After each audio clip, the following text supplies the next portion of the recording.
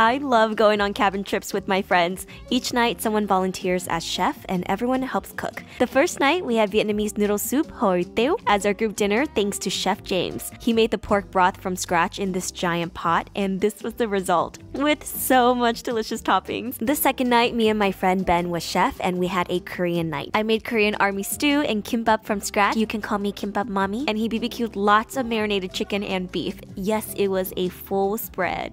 The third night, my friend Reggie was chef, and it was an Italian night. And she gave us shrimp pasta, this giant cheesy lasagna you just want to put your face in, Caesar salad, and the most flavorful zuppa toscana. Yes, my friends feed each other super well, and this is why